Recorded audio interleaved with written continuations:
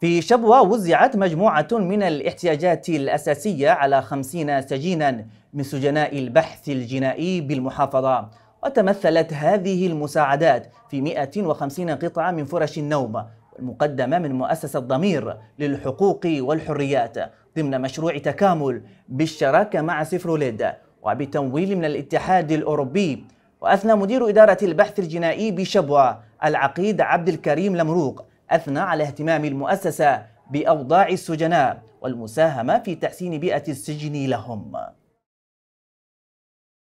طبعا تم اليوم توزيع لنزلاء البحث في محافظة شبوة الدعم المقدم من Saferworld والاتحاد الأوروبي وتنفيذ